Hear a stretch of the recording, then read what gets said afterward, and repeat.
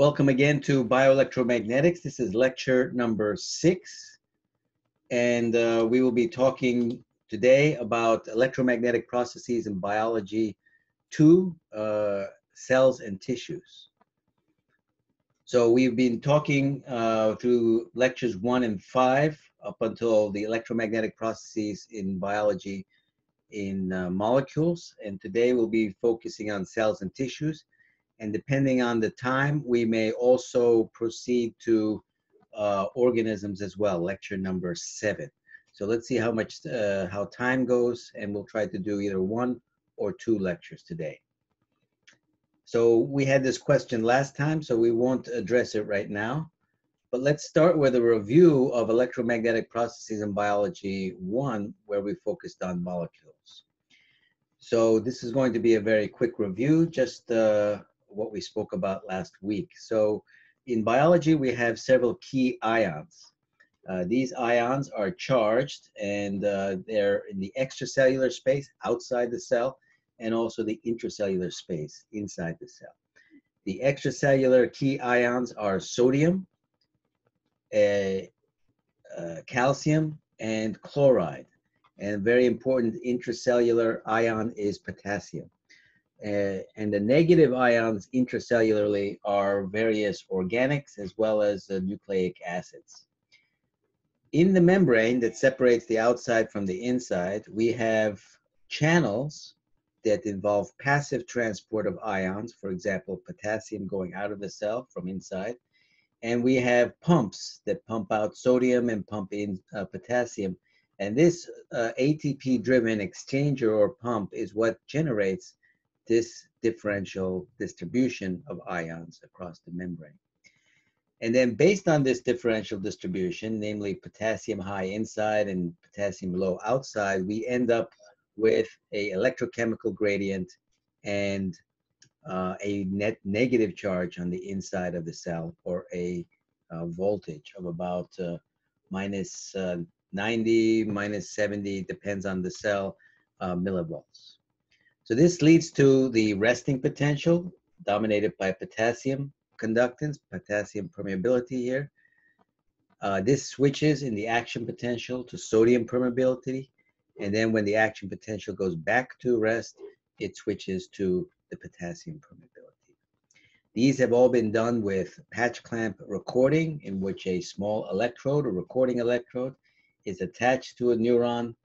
Uh, and these measurements of resistances and a current is put in and based on Ohm's law, voltage is equal to current times resistance, we can determine the voltage across the uh, cell with respect to a reference electrode outside the cell. We talked about passive transport and active transport. Active transport involves the coupling process that we discussed in the biology section that can pump uh, ions against their gradient and passive transport involves basically either diffusion or facilitated diffusion uh, down a uh, electrochemical or electrical uh, gradient or chemical gradient uh, as necessary. So these translocation proteins are various types, ion channels, carriers, transporters. And so the membrane is a very dynamic system that can uh, set up a charge they can set up a voltage, a charge difference. They can set up a voltage across that membrane, and they can also change that voltage across the membrane. We talked about another protein called bacteriorhodopsin, a very important uh, protein in the bacteria that uh, pumps protons by virtue of a shift in a cofactor retinal molecule that's inside of it. So it goes from a cis uh, from a trans to a cis uh, configuration, that movement actually translocates a proton uh, slightly towards the outside, and that allows a proton to be accepted from the inside, so effectively it shifts a proton to the outside. Those gradients can be used to drive ATP production. This is the notion of coupling we talked about. So here's a proton pump uh, bacteriorhodopsin pumps protons out. they come back and produce ATP down the gradient. So that's how we produce energy in cells through these charge uh, changes. We talked about oxidation and reduction of comp carbon compounds. So carbon in its most oxidized state is carbon dioxide. That's the lowest energy state of carbon. We can regard the electrons around carbon as being distributed, uh, more dispersed.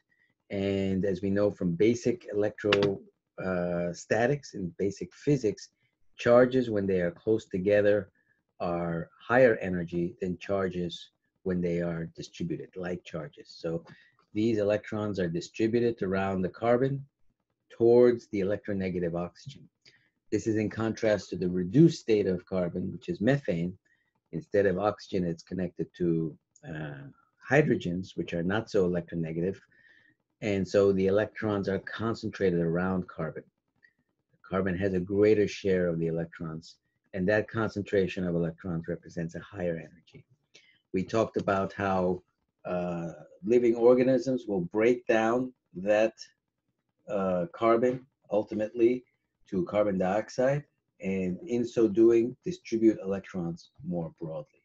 Carbohydrates, glucose are right in the middle.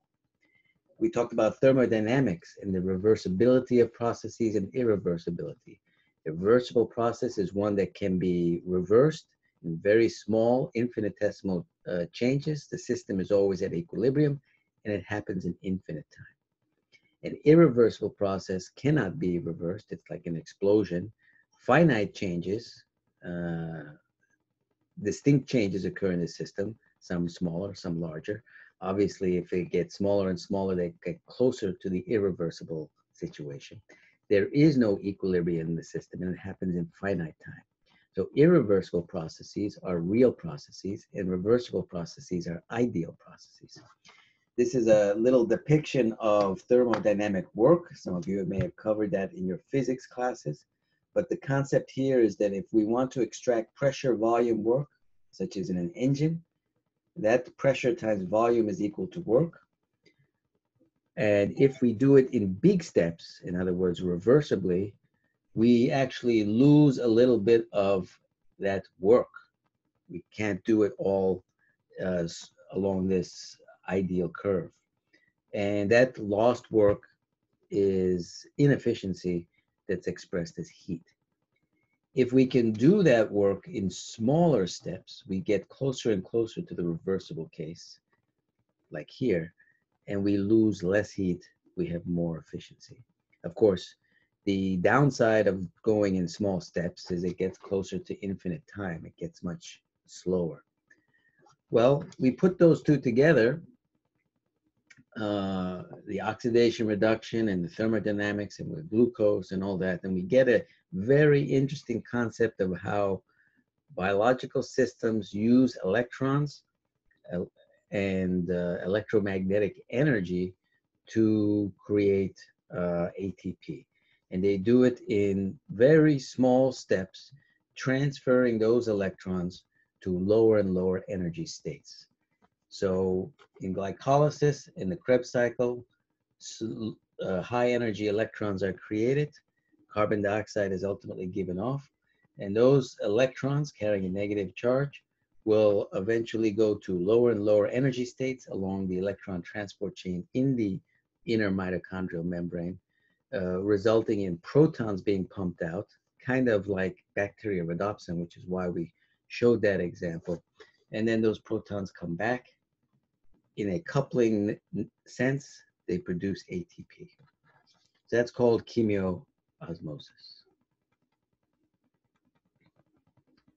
So any questions now?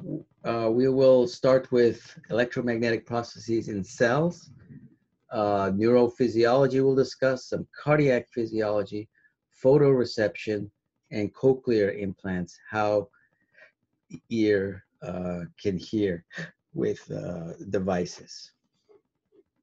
So I'll pause here. Okay, we'll start again. Uh, now we will proceed to cellular electromagnetic processes in biology neurophysiology, cardiac physiology, photoreception, and cochlear implants. Cochlear implants are in the ear.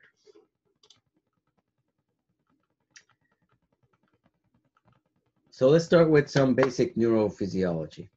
Uh, we discussed this a little bit earlier, but nerve cells, which produce those action potentials that we discussed uh, and reviewed, which result from the shifts in sodium and potassium ion conductance, these nerve cells are separate from each other and they communicate via what's called a synapse. In other words, a information electrical activity from one cell is transmitted to another cell, from one neuron to another neuron or a muscle cell via the synapse. So this is a depiction of that. You have what's called a presynaptic neuron, and then the synapse, and then the postsynaptic neuron. So information is transferred from the presynaptic to the postsynaptic neuron.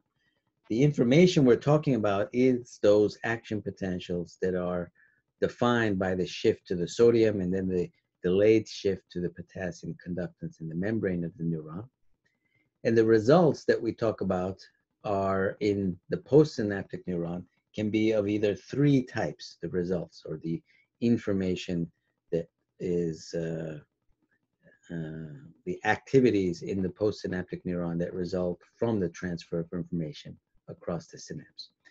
The first type of change can be a local potential. In other words, a small electrical change of uh, a few millivolts, up to 10 millivolts or so, a small electrical change across the membrane of the postsynaptic cell, either a positive, uh, as depicted here, or a negative, as depicted in the second curve.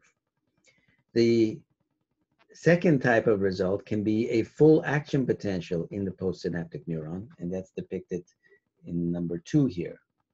And the third possibility, uh, which is not exclusive, it can also happen in addition to these electrical changes. But the third possibility is biochemical changes. In other words, the postsynaptic cell uh, and the presynaptic cell and the postsynaptic cell or the synapse undergoes some uh, substantial long-term changes, either in their structure, in their molecules, in the number of synapses, uh, etc. Uh, and those biochemical changes are what underlie the process of learning.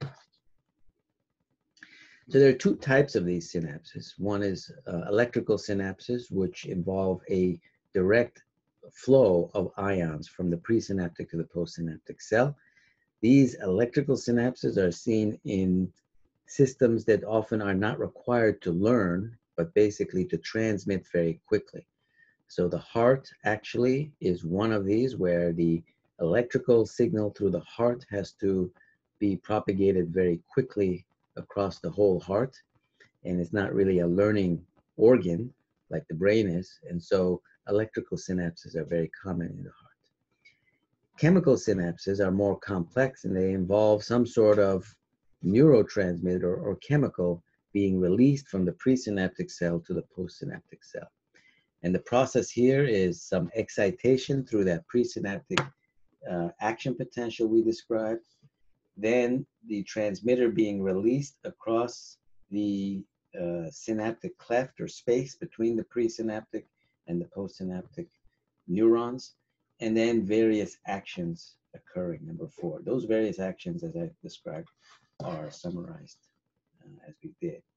Now, another very fifth characteristic of the synapse will be what's called an off signal, or how do we turn off this activity of the neurotransmitter. So this is a uh, animated depiction of that. We have the presynaptic cells now resting potential. It then has an action potential. That action potential will release vesicles, and those uh, neurotransmitters will bind to the receptors on the postsynaptic cell, and then you can see other actions happening, in this case, another voltage change. Again, neurotransmitter coming out, and notice that this neurotransmitter will be X'd out, somehow taken up, somehow destroyed. That is what we call the off signal. This is a, another depiction, uh, a little bit more detail of synaptic transmission. in this case with serotonin. Serotonin is a neurotransmitter involved in mood in the brain. And the off signal is controlled by a serotonin reuptake transporter that pulls in serotonin back into the presynaptic terminal and then recycles it into these vesicles. So that's the off signal. So the neuromuscular junction is a similar concept to this synapse. The neuromuscular junction is a synapse between a neuron and a muscle cell, uh, as opposed to between two neurons. But the concept is very similar. It involves a uh, release of a neurotransmitter. In many cases, this is acetylcholine.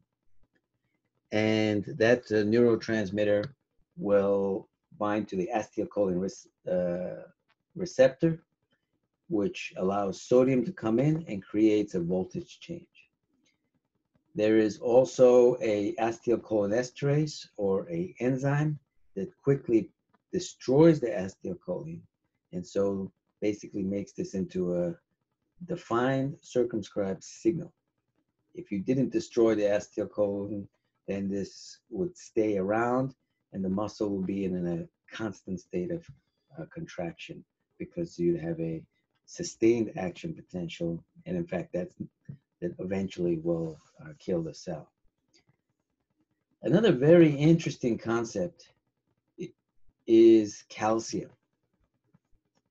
So when this voltage comes down here, the action potential, it will release calcium or it will internalize calcium and then cause these vesicles to move and fuse with the presynaptic membrane. uh, as we learned earlier, calcium is a very interesting ion. It's often a signaling ion.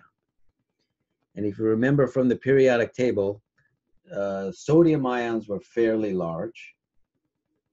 Potassium ions were even larger, although sodium ions, when they have a water shell around them, are the largest of the ions. And the calcium ions are the smallest of the positively charged ions. The negatively char charged ions are generally larger. So calcium is very small. It's about half the size of the sodium ion. And in addition, it is calcium 2 positive. In other words, there are two charges there. And uh, those two charges mean that the charge density of calcium ions is very high. And being relatively small, it can move quickly. Uh, it's relatively light. So it diffuses rapidly. It has a high charge density. So it is an ideal ion to be involved in signaling. Uh, sodium and potassium are involved in the membrane potential, which is a kind of signaling. But calcium binds to proteins and actually alters their conformation turns them on, turns them off, opens channels, closed channels. Those of you who have familiar with calcium, with uh, biology will have known about the, the role of calcium. They're also involved in the sarcomere. They bind to uh, actin and myosin, uh, specifically to tropomyosin and mediate the interaction of actin and myosin. So calcium is always involved, it is often involved in regulating proteins and its very high charge density and rapid diffusion are important characteristics that make calcium ions ideally suited for such a job. So indeed, in the neuromuscular junction, we see that phenomena with calcium. So as I mentioned in the postsynaptic membrane, we can have some local potentials that can be either positive or negative. And we call these excitatory synapses that create a positive local potential. They're generally with glutamate as the neurotransmitter, and sodium comes in, creating a more positive on the internal side. Inhib inhibitory synapses are often with uh, gamma aminobutyric acid, GABA, as neurotransmitter. And in this case, they open up channels for chloride. In other words, they make the inside more negative. It becomes an inhibitory synapse. So more positive excitatory, more inhibitory. So this is uh, depolarizing, which is positive, more positive, and this is hyperpolarizing, the blue line, which is more negative. And so if you have enough of a excitatory postsynaptic potential, such as by glutamate, that exceeds the threshold, then we have an action potential. so the brain is a mix of these uh, excitatory, inhibitory synapses, and um, uh, various medications, for example, for anesthesia and so forth, will work on these in different ways to either activate or suppress uh, brain function. So this neuromuscular junction plays a role in reflexes. This is a typical reflex. So we see these electrical signals moving uh, from the uh, sensory neurons down to the spinal cord or up to the spinal cord. A uh, motor neuron is then activated uh, to then stimulate the muscle through the neuromuscular junction to uh, contract. And a typical reflex is a so-called patellar uh, stretch reflex. So uh, the brain basically gives instructions to the muscle to be at a certain length. But if there is a uh, adjustment to that set length, the uh, muscle and spine will compensate to keep it at that set level. And we're talking about uh, in milliseconds and very short period of time. So in other words, if you decide to stand up, you stand up straight. If you decide to sit, you sit up straight. And the alterations in shifts in the muscle length are controlled uh, automatically through these reflex arcs. Now, a patellar reflex, where a doctor, nurse will uh, uh, tap the patella, patellar tendon, uh, will abruptly change that length of that muscle. In fact, it will stretch it out. That's why it's called a stretch reflex. And that muscle is uh, programmed to stay at a certain length. So the reflex or response will be to contract. So a stretch reflex will then come through a sensory neuron, activate the contraction, and so the muscle contracts to try to maintain this stable state. And that's the nature of the uh, reflex arc should mention that afferent is sensory and efferent is motor, and this is a demonstration of that. So we have all this electrical activity in the brain, uh, positive, depolarizing, excitatory. We have negative, polarizing or hyperpolarizing, uh, more uh, inhibitory. So positive, polarizing, the depolarizing, excitatory, negative, hyperpolarizing, inhibitory. So if we have too much excitatory activity, at some point we get uh, uncontrolled electrical activity in the brain. And that results in a condition known as epilepsy. Epilepsy is a tendency towards recurrent seizures unprovoked by any kind of uh, systemic or neurological causes. Sometimes people will get seizures if they uh, don't have enough uh, of certain nutrients.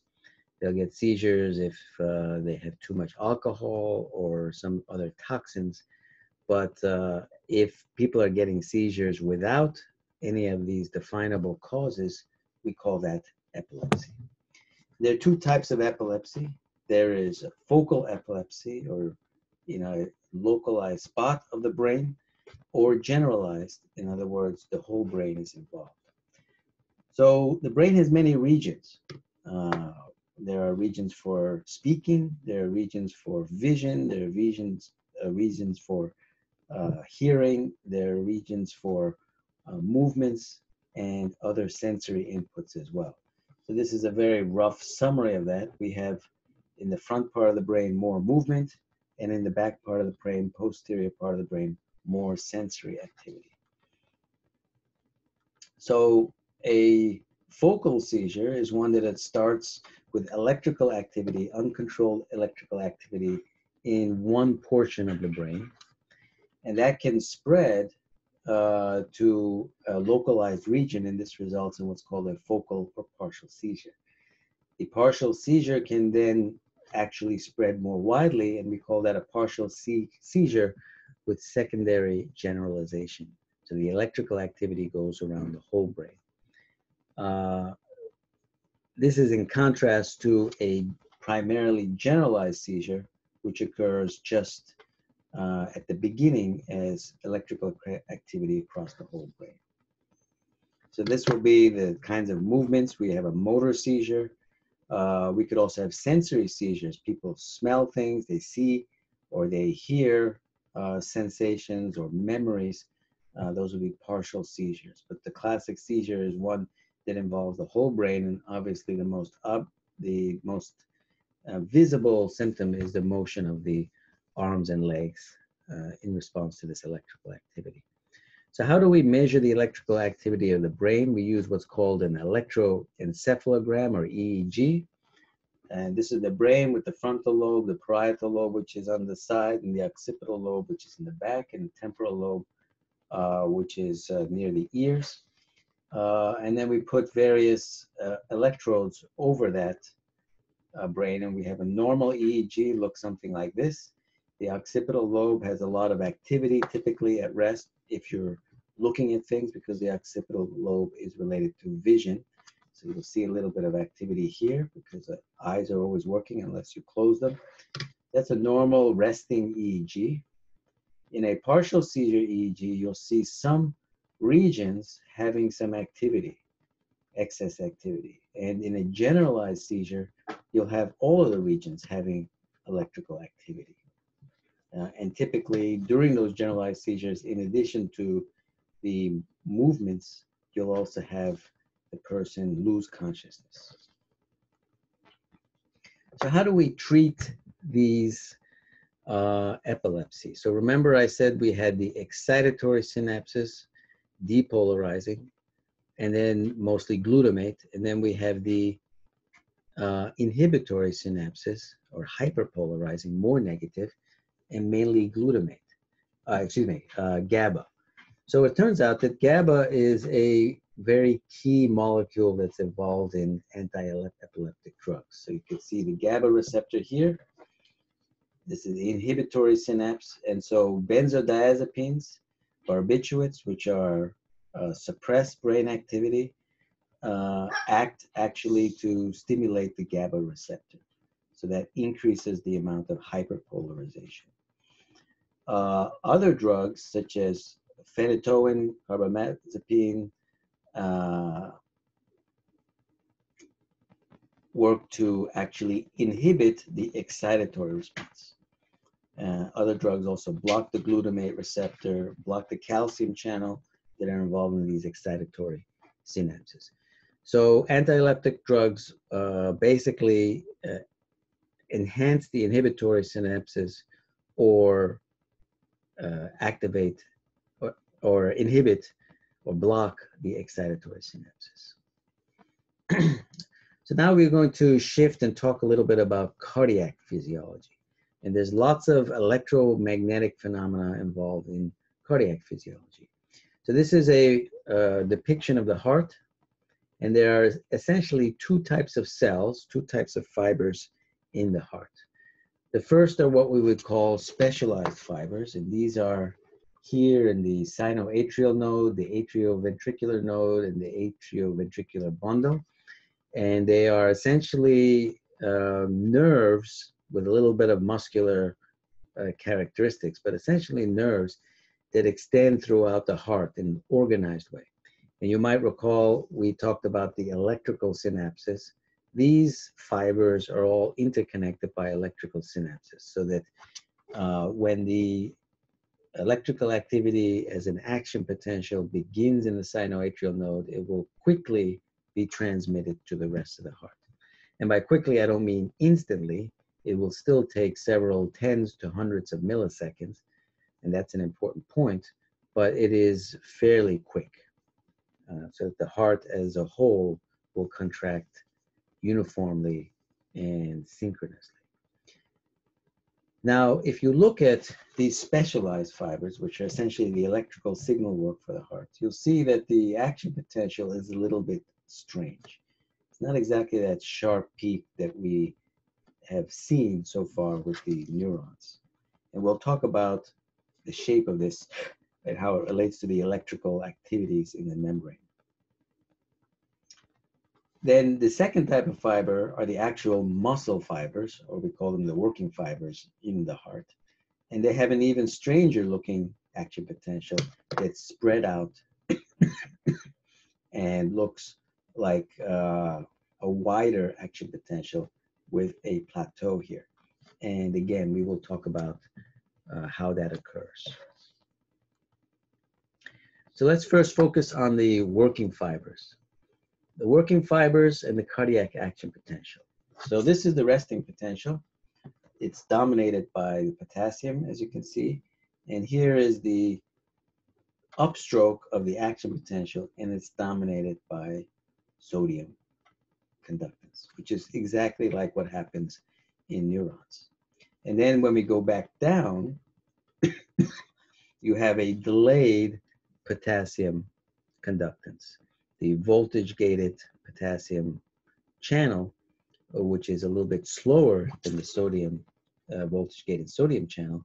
And so you have the downstroke. So then the question is, what accounts for this plateau? Normally in a neuron, this will go up and down and the plateau is maintained. And the plateau is maintained for two reasons. One is that the potassium, voltage gated potassium channels in the heart activate even slower than in the neurons, so that there's a delay here. And then the other interesting thing, this plateau is sustained by incoming calcium. Remember, calcium is high outside, it comes in, it will create more positivity on the inside, thereby depolarizing the membrane, just like sodium. So this calcium functions two roles. One is to keep the membrane depolarized. But remember I said that calcium is a small ion with a double charge, has a very high charge density, and is involved in signaling. And so all that muscle, the myosin and the actin, et cetera, that's controlled by calcium, so you have these uh, nanomotor changes in the proteins to cause that contraction in a very short period of time, that's controlled by calcium. So the purpose of the calcium coming here is to maintain the plateau and secondly, to control the muscle. So it's a very ingenious system and you want to maintain it for a certain period of time as the heart contracts. so the specialized fibers have a really unusual uh, profile, as we mentioned. So they're a little bit sharper. They, they don't have the plateau, but they have what's called a pacemaker potential, which is the resting potential is not stable. It is slightly increasing. And that slightly increasing is due to a calcium current that's leaky and allows this to slowly approach the threshold, which then creates the voltage gated sodium potential. So this process is called automaticity. The fact that the resting potential is not flat creates a oscillator type phenomena. And so this is most evident in the sinoatrial node, the heart's natural pacemaker. So it should be noted that the slope or how fast this calcium current comes in will determine the speed of the heart rate. If the slope is high, so that it reaches the threshold quickly, then the rate will be high. If the slope is low, it reaches the threshold slowly, the rate will be slow. And this slope, more specifically, the amount of calcium that comes in a certain amount of time, the rate of calcium influx, uh, and the permeability, this slope is determined by or controlled or influenced by the autonomic nervous system. So in periods of stress, when the heart rate goes up, the sympathetic nervous system will increase the slope. In periods of rest, when the parasympathetic nervous system is more active, the slope will be lowered. So the autonomic nervous system can also modulate this automaticity. So as I mentioned, the heart has this electrical activity going approximately from the top to the bottom, from the sinoatrial node down to the ventricles and around. it does not happen instantly. So in, at the beginning, you have a depolarization up at the sinoatrial node, but the rest of the heart is still at resting potential. Over time, that wave will go down and the uh, sinoatrial node will, will return. Uh, and so that wave is going down means that we have a section that's depolarized, a section that is not depolarized or resting, which means we have a dipole. We have a difference in charge in the surface of the heart. That difference in charge can be picked up by an electrode, which we call an electrocardiogram. So this is the ECG tracing. An electrocardiogram basically picks up changing electrical uh, distributions over the surface of the heart. We have what's called a P wave, which is the atrial depolarization at the very top. We have a larger QRS wave, which is the ventricular depolarization. then uh, that plateau, as I mentioned, will eventually come back and depolarize, and we have ventricular repolarization. This is the isoelectric point here. Now, some of you may have heard about heart attacks, and the basic concept of a heart attack is a blood vessel in the heart becomes blocked. And when the blood vessel becomes blocked, as you can see here, we have some sort of uh, dead heart tissue.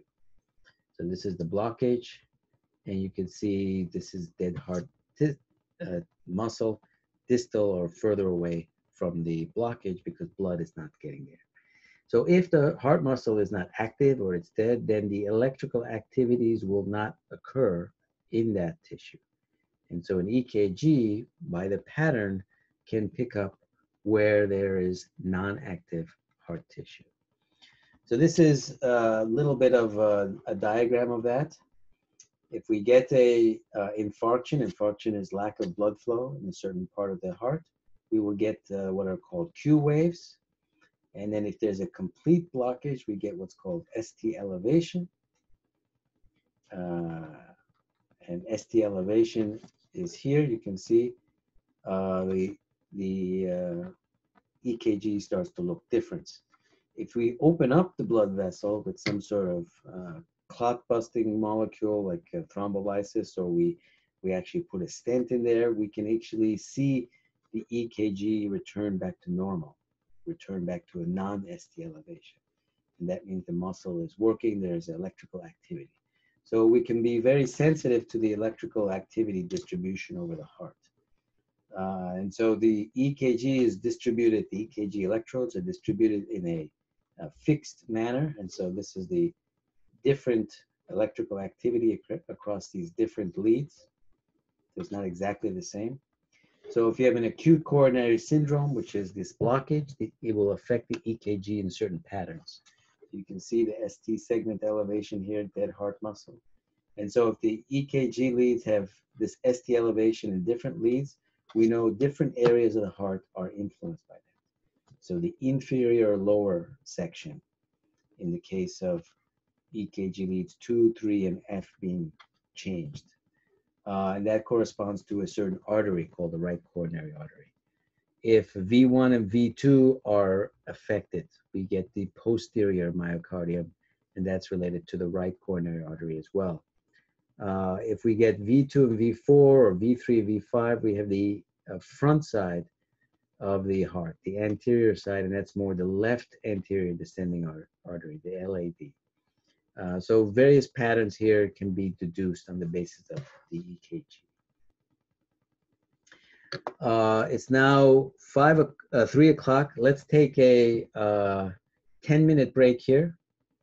Uh, and we will continue with photoreception, another electromagnetic activity or process that occurs in cells. So we'll take a 10 minute break here and continue with photoreception. So in this uh, next section of electromagnetic processes in biology, focusing on cells, we're going to discuss photoreception. So what is the visible spectrum? Remember we had the question, uh, why is the sky blue? Uh, well, it's blue because of the physics reasons of the scattering of particles and molecules by light uh, particularly the scattering of uh, smaller dimensions, namely blue, uh, is more scattered than red light. And, uh, but the second reason why the sky is blue is because indeed we see blue light. And blue light is at the higher energy scale, lower wavelength scale of visible light that goes up into purple.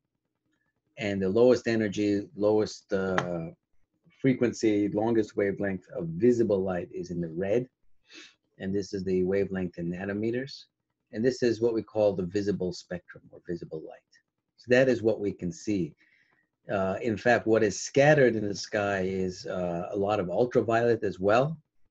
Uh, and certainly there's a lot of infrared around as well, but uh, we see uh, blue light. And so that is a major reason, of course, or one of the reasons why we see, quote unquote, the sky is blue. So this is the visible spectrum. So then this is electromagnetic radiation.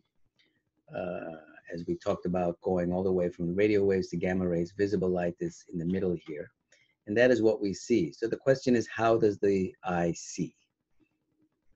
So the anatomy of the eye uh, has two chambers uh, separated by the lens. So light comes in here and eventually will result in signals in the optic nerve going to the brain here, the occipital lobe in the back as we described.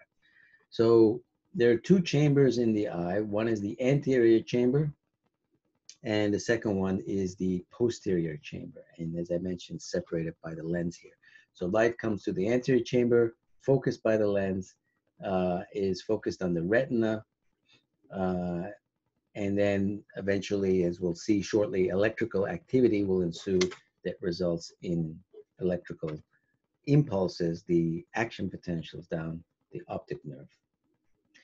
Now, the eye itself has three layers, an outer, dense connective tissue. We talked about the connective tissue uh, in an earlier lecture called the sclera.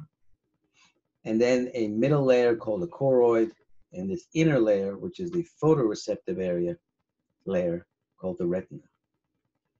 And this is a, a fundoscopic view or it's a, a light uh, visual view of the retina. And you have what's called the fovea, which is the highest concentration of uh, rods that are a type of cell that is photosensitive, and we'll talk about those cells.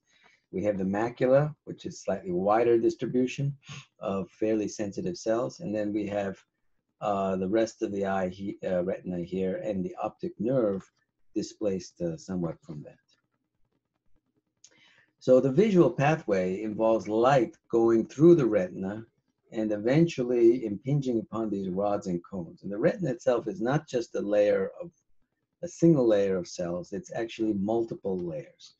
And so you can see there are crest, uh, Muller cells, uh, ganglion cells, amacrine cells, bipolar cells, horizontal cells, and finally the photosensitive rod and cone cells. So light comes from the outside and passes through actually a lot of different cells and eventually impinges upon the rods and cones.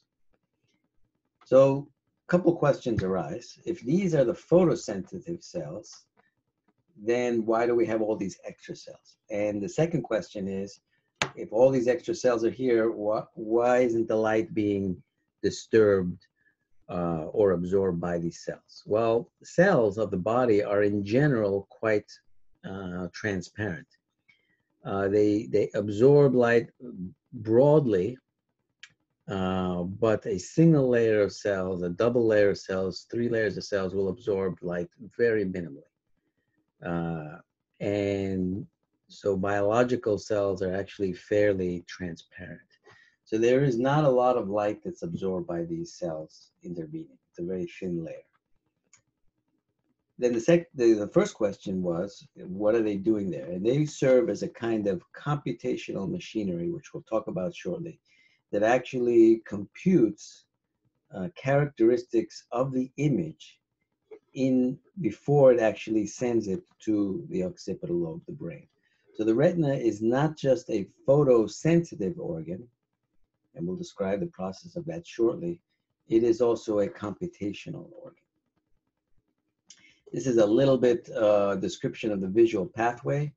So one of the important facts is that the sensory pathways in the brain cross, and that's true for the visual pathway as well.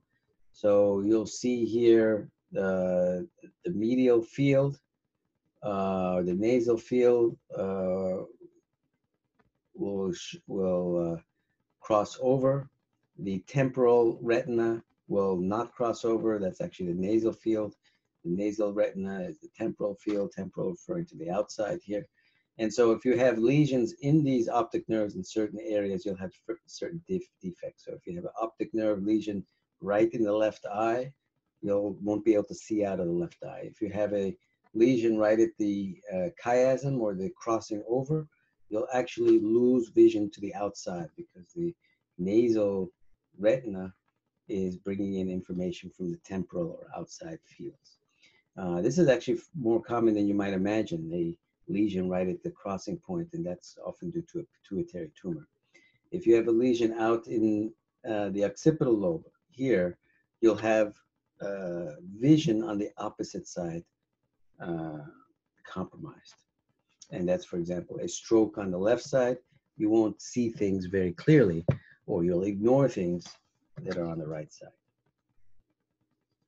So as I mentioned, the retina is not just a photosynthetic organ, it's also a computational engine. And this is a paper that I wrote while I was uh, at the Samsung Central Corporate Research Lab, uh, where we described a computationally efficient real-time motion recognition based on bio-inspired visual and cognitive processing. So the concept here was that uh, uh we use AI, we use uh, neural networks and deep learning in order to uh, recognize images. That takes a lot of computational power.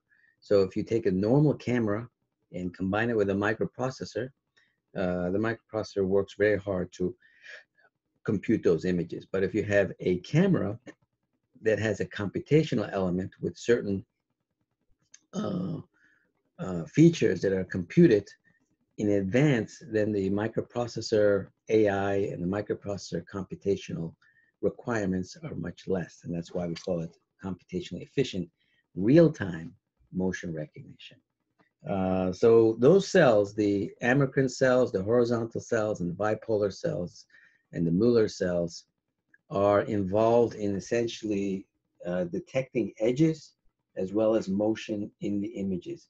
And so the information that is sent to the brain is not individual pixels like a normal camera, but is in fact a pre-computed uh, information about edges.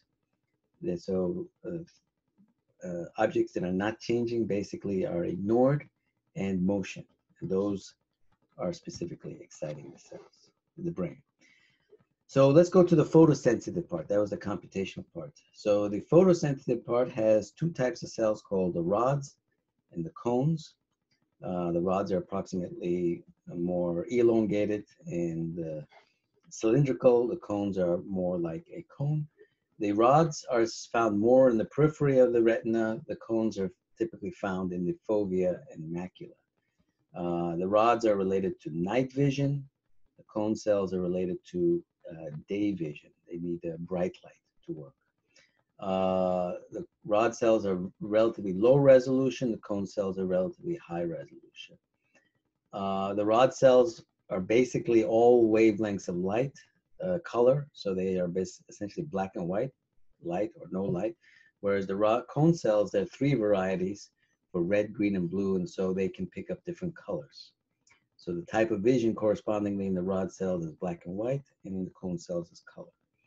They have different rhodopsin. Rhodopsin is a molecule that looks like bacteriorhodopsin. So you might be wondering why we spend time on bacteriorhodopsin, that proton pump protein. Well, this is one of the reasons why we spend time discussing that protein because it's relevant to these rod and cone cells. So they have a protein called rhodopsin, which is light sensitive, just like bacteriorhodopsin was light sensitive. Uh, the rod cells are quite prevalent. The cone cells are much fewer in number. So this is a rod cell. the photoreceptor unit here, and it has a nucleus, uh, mitochondria, and ultimately a presynaptic terminal here. Inside this photoreceptor and the membranes is rhodopsin. Rhodopsin is a seven transmembrane helix protein, just like bacteriorhodopsin. And guess what? It also has a retinal molecule in it. Retinal that will shift on the basis of light that comes in. Now, this retinal molecule is interesting. Most of you are familiar in uh, organic chemistry that it has these alternating double bonds. One, two, three, four, five, six double bonds that are alternating. Uh, to make a long story short, these valence electrons or these outer electrons become much lower energy in their different energy levels. So you remember we talked about energy levels. And they become low enough energy that visible light can excite them. In general, atoms or electrons in atoms cannot be excited or inter interact with visible light. In terms of quantum mechanics, the energy is just not enough. Uh, so visible light doesn't doesn't interact with uh, the electrons in these atoms uh, X-rays will interact with the inner electrons of atoms, and to some extent, uh, ultraviolet radiation will inter interact with some of the outer electrons of atoms. Now, there is an exception, uh, transition metals, uh, which have very uh, weak outer electrons, uh, can often be colored and so those transition metals as atoms can interact with some visible light. And that's why you have various metals uh, in solution being various colors, copper uh, being uh, green, um, iron being red, cobalt being blue, and so forth. So those transition metals can interact with visible light. But in general, visible light does not interact with electrons uh, in, that are bound. But in these colored molecules, like retinal, which is found in related to molecule in oranges, I mean not oranges, in the orange of carrots, tangin.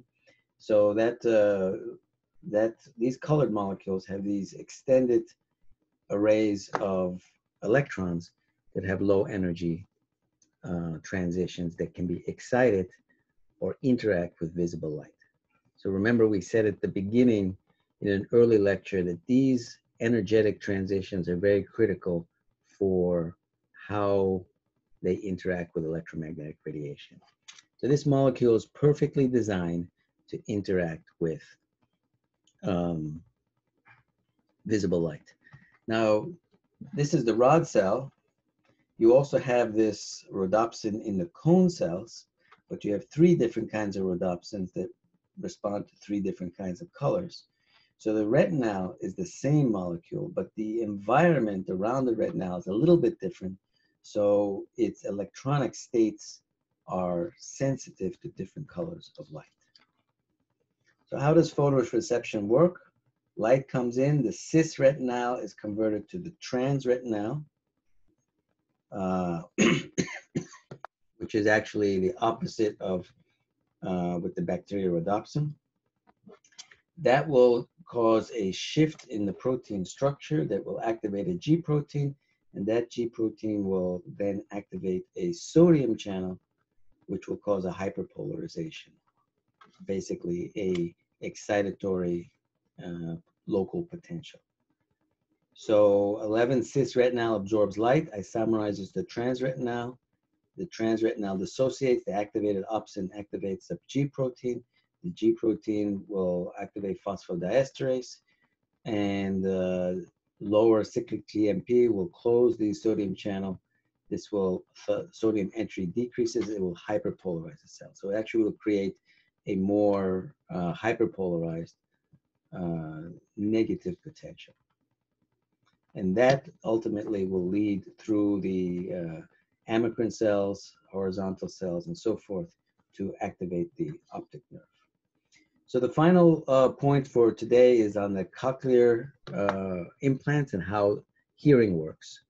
So we will talk a little bit about sound waves, which are of course different than electromagnetic waves, but these sound waves, just like light waves, will also interact and create electrical activity. So how are sound waves ultimately detected? So you have the outer ear, the middle ear, and the inner ear.